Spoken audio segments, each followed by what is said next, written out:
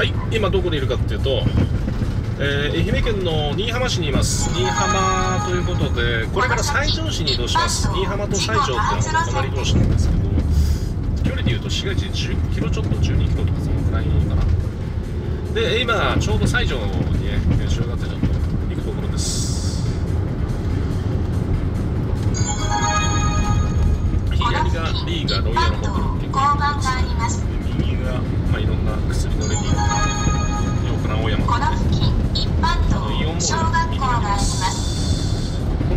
っと行くと西条の駅に行きます。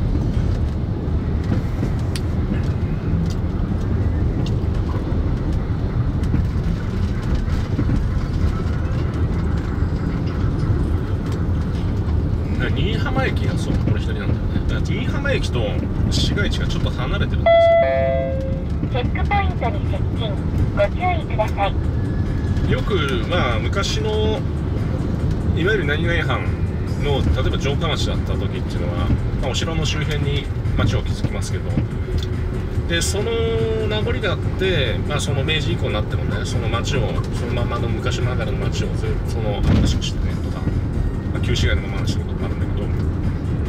そこで町を形成されてその後鉄道を作って駅が、まあ、用地がなかなか取れなくてちょっと離れたところにやるってことなんでね。でそこの駅の周辺も発展してくるってことあるんだけど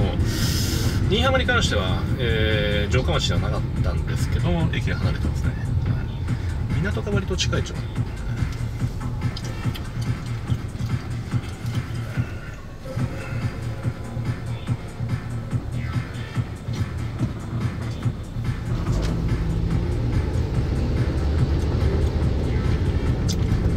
でここの13号線今走ってるんですけどここから西条行きであとは今治ね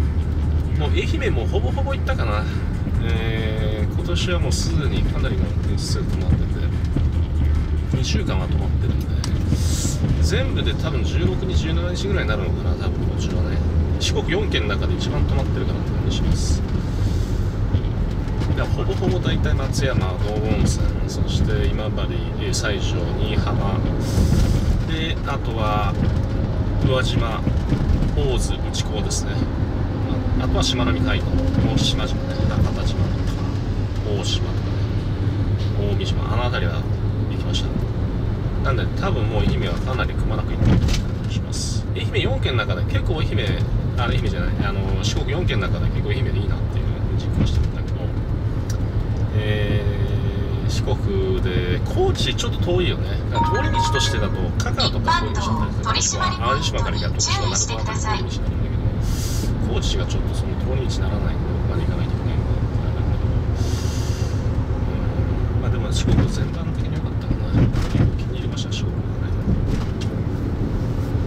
まあどこもいいっちゃいいんだけどね。あの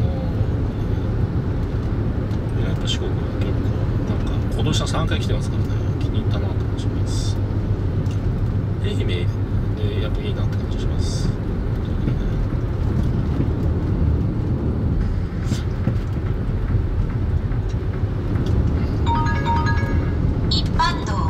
締まりポイントに注意してください別紙の父さんがあって住友家が、まあ、運営経営してたんだけど住友系の会社、まあ、いわゆる企業城下町みたいな感じですそしてそれ以外の会社も結構あって今右側が工業地帯ですね。地帯とねだから新居浜市は本当に工業都市です。今治なんか行ったら今治総線とかって総線場があってね。ねただ結構愛媛っていうのはなかなかそういう産業的に工業もね結構発展してるなって感じがします。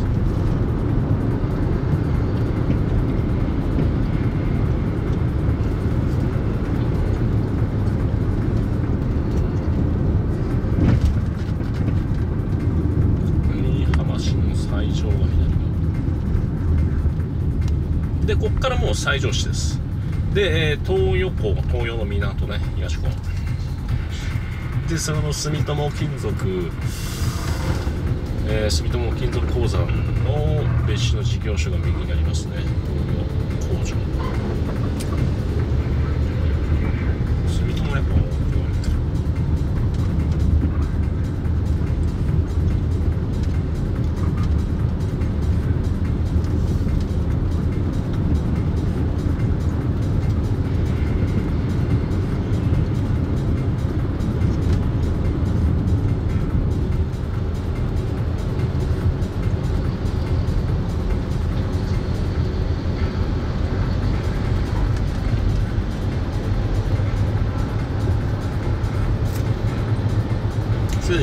西条市です。ね西条の駅までは6 6キロなのでも新居浜は西条結構近いような。気がしますだから新居浜の人口が11万4000人で西条もそれちょっと少ないぐらいですけど。えー、通勤圏、まあ、都市圏としてこの一帯合わせて22万3万人ぐらいですね。結構大きな都市圏になります。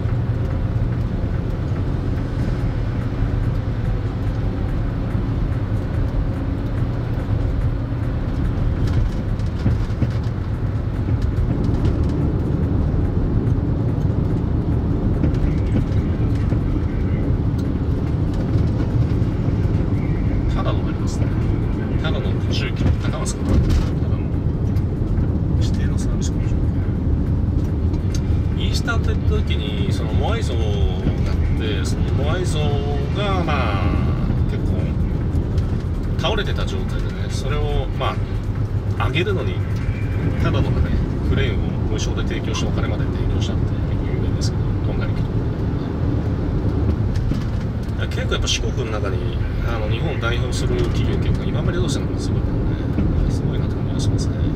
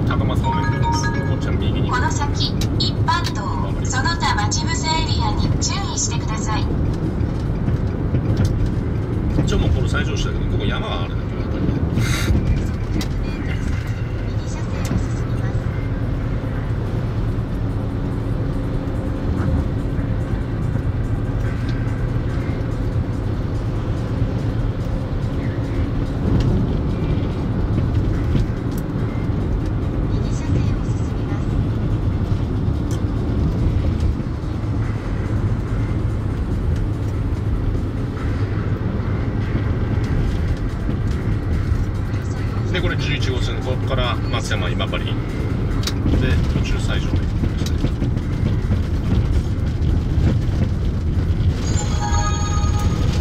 この先松山の右方向に交通警察隊があります。で西条の駅大体3.5キロぐらいですね。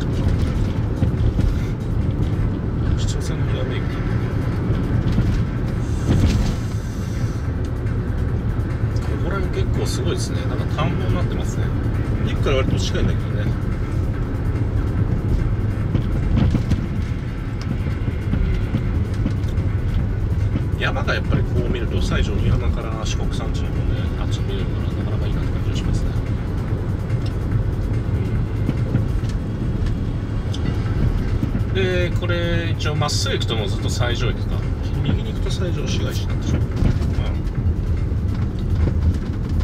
ん、右で行けや。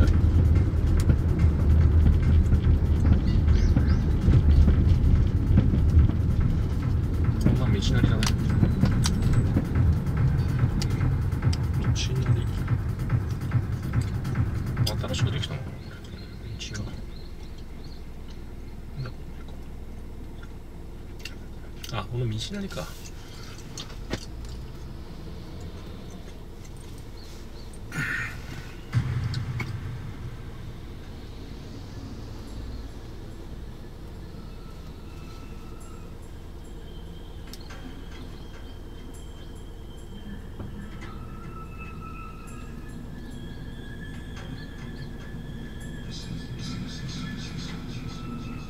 天気がいいですね。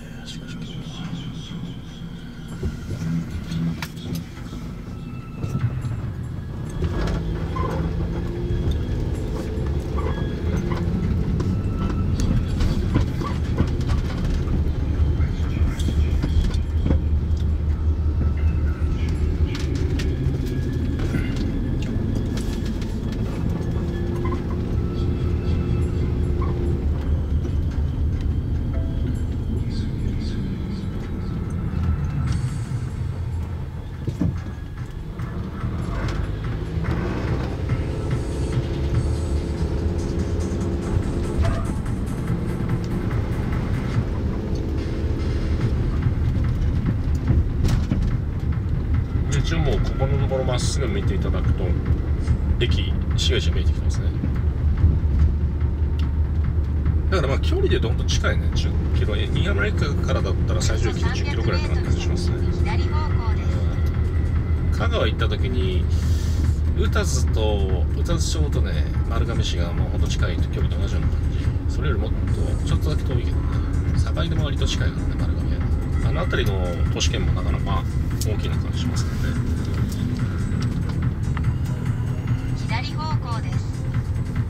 まあ一応これまっすぐ行けばずっと行けるのか。